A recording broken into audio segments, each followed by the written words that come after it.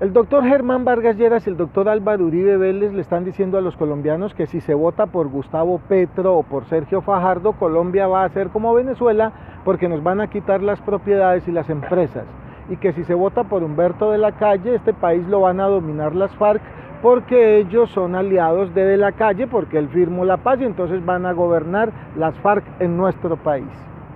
Resulta que Gustavo Petro anda diciendo que va a cobrar un alto impuesto si es presidente a las miles de hectáreas improductivas que muchas personas tienen en Colombia.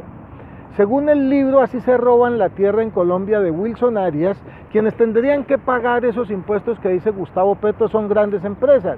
La familia Sarmiento Angulio, el ex vicepresidente Francisco Santos, el grupo Manuelita, la familia Santo Domingo, el sindicato antioqueño, el grupo Río Paila Castilla y varias empresas extranjeras como Germán Efronovich, el dueño de Avianca, que ahora está en Colombia y de un momento a otro resultó propietario de muchas tierras.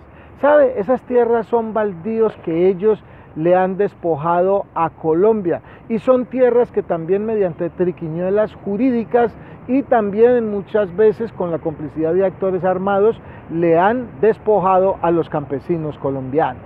Quienes realmente expropian en este país son los empresarios, especialmente los banqueros que si usted obtiene un crédito para vivienda y no paga oportunamente, le quitan la casa, todo lo que pagó y subsidios si el Estado le dio. El doctor Álvaro Uribe Vélez persiguió a los trabajadores, les quitó las horas extras, les quitó los dominicales y ahora anda diciendo que hay que pagar mejores salarios. Nos quitaron las carreteras que ahora son privadas, nos quitaron la buena salud.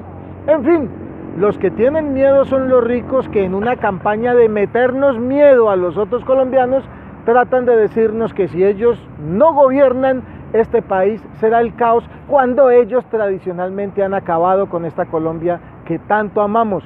Mucho cuidado no dejarnos meter miedo.